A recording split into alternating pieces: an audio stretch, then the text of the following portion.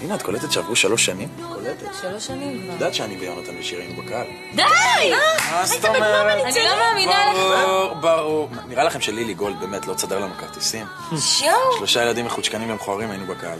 רגע, רגע, רגע, רגע, רגע, סדר. למי הצבעת? מה? למי הצבעת?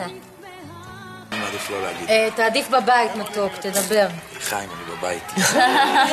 למי הצבעת? לא שלחת סמס, מה את אומרת? אולי את תספרי לנו למי הצבעת? לשירי גבסו או לנינט? לא, אני...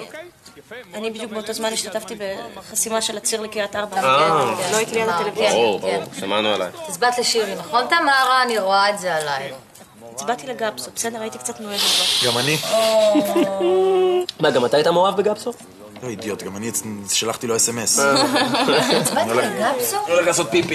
לא, אני פשוט לא מאמינה לך, חתיכת בוגד מושתן. באמת כדאי שתלך, ואל תחזור, באמת.